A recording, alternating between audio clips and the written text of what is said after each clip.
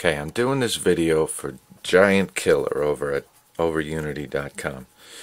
Um, basically what I have here is I have a transformer that I'm running. I'm going to take a sound frequency out of this little audio generator. Okay, uh, the frequency I'm taking is 159 hertz because uh, playing around I found that that was I guess what you would call the resonant frequency of this transformer over here. All right, that's the kind of transformer it is. Sending the audio out, uh, right side doesn't matter. Sending the audio out um, into one of the primaries and the secondary on the AC side of this transformer, and I'm taking the uh, the 12 volt DC side running it through a rectifier. And that rectifier is then going to a capacitor. Okay and out of that capacitor I'm going to take these outs. Um, and I'm going to show you what's going on. Now when I now right now I have this hooked up to the left side of my stereo out because I want to show you the current that's coming out. Current that's coming out is registering as as AC voltage on my meter um, and now I turn it on. I turn, there it is, where is it? There it is.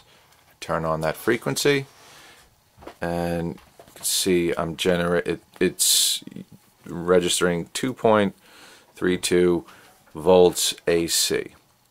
Okay. Now I'm going to switch this really quick, if I can, with one hand. Um, I'm going to put this down. I'm going to switch this to my transformer setup.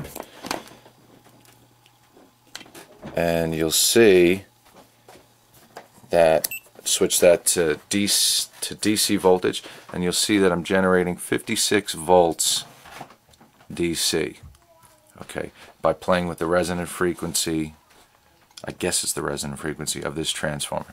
Basically what I did was I hooked up my voltmeter and I saw whichever frequency generated the most of voltage and that's what I got. Okay coming out of that the right side of that. Uh, part two of the test I made an MP3 of 159 hertz square. It's a square wave by the way. Turn on my little MP3 player. Take this out of here. Okay there's my frequency. Let me turn that off. So it doesn't annoy everybody. Um, and I'm going to put this in here second. Okay. Put my little uh, stereo cord in there. Turn my player on and you can see that I'm generating about 18 volts. Uh, usually generates about 18 volts. I don't know what's going on. Maybe I got a weak battery. But anyway, just from an MP3 of that frequency going through this transformer, I'm generating uh, almost 18 volts of electricity. And I have used this to charge a bunch of um, AA batteries.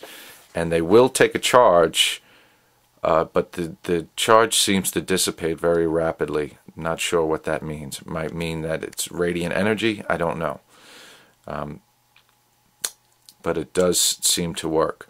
Um, just very interesting. All right, so that's that. Peace.